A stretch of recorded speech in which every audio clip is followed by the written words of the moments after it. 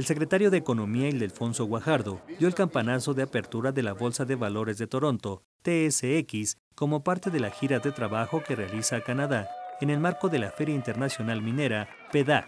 Encabezó la delegación mexicana integrada por los representantes diplomáticos y comerciales mexicanos en Canadá, así como por funcionarios de la Coordinación General de Minas y representantes de varios estados con fuerte actividad minera, como Chihuahua y Zacatecas.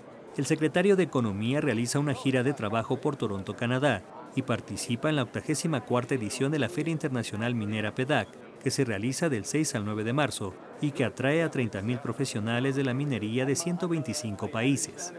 La Secretaría de Economía montó un pabellón en esta feria con información y mapas de los proyectos mineros mexicanos y las áreas potenciales para la exploración en el sector. Con información e imágenes de Isabel Inclán, corresponsal en Canadá, Notimex.